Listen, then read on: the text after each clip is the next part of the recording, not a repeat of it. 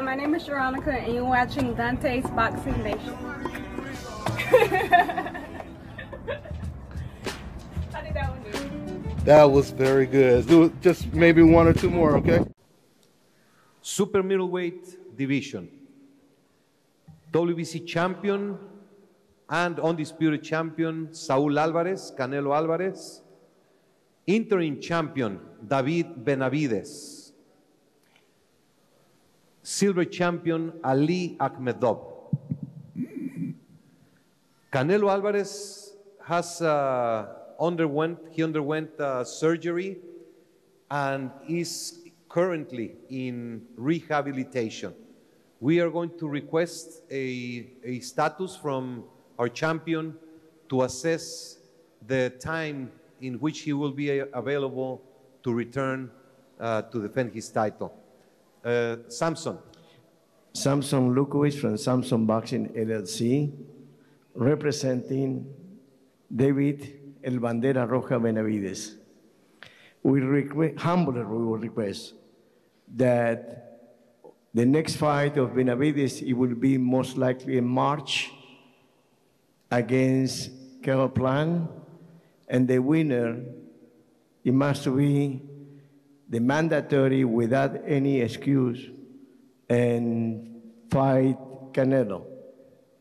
And I want to have all the board to make uh, it approved today that it will be the final elimination, defending his interim title, and it will be the only mandatory for the next fight of Canelo Alvarez.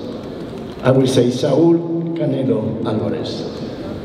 Thank if you you, make a vote now, it'd be appreciated. Thank you. Are there any other comments from the floor? So we have interim champion David Benavidez fighting number one contender Caleb Plant. Sensational fight. And uh, the request is that the winner becomes the mandatory contender of the division. So it is absolutely uh, acceptable to have this type of fight, to have the mandatory contender. Are there any comments from the board?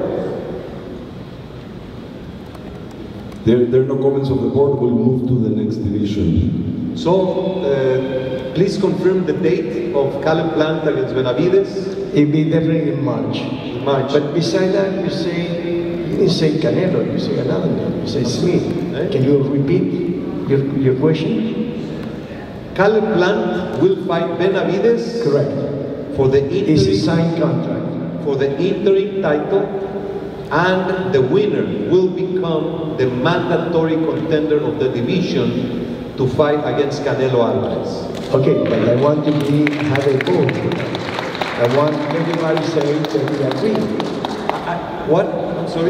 It's, it's supposed to be an agreement, and every one of you vote and, and mandate that uh, Sampson. championship elimination. It has been agreed All right, now check this out, guys. If you're looking to repair eczema scars, burns and bruises, dark spots and blemishes, fever blisters, diabetic ulcers, this right here is the perfect product for you guys. It's called LO Key Face and Body Oil. Athletes and top-ranking boxers, they're also using it after training to reduce swelling, and inflammation, and to ease the pain. So get yours today. Go to LODekey.com, like them on Facebook, and follow them on Instagram. Let me tell you guys about Issa Israel Law Firm. It is a full service legal practice based in Denver, Colorado, an emerging hub for combat sports and high altitude training. If you're a fighter inside or outside of the ring and you need a law firm you can trust to fight for you, visit thefighterfirm.com or email help at iilawfirm.com. Legal representation is usually limited to plaintiffs or defendants in Colorado, but iFirm can help anyone in the world with trademarking their business name, logos, and U.S. immigration issues. This brother has been my attorney for a while and helped guide me through all kinds of business and civil issues, so make sure you guys go to thefighterfirm.com.